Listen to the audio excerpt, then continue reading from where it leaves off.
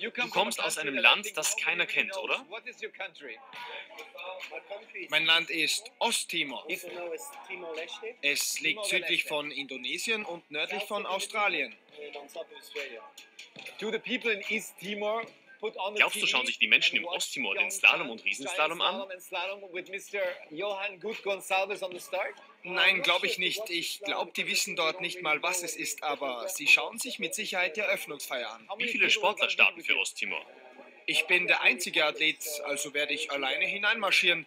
Aber ich werde versuchen, ein paar Leute hinter mich zu bringen.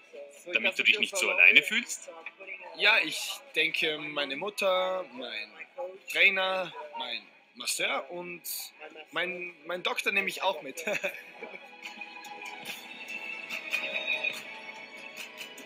Ich hoffe, ich habe Sie auf den Geschmack gebracht, dass Sie in Pyeongchang nicht nur den ersten Start um die Daumen halten, sondern auch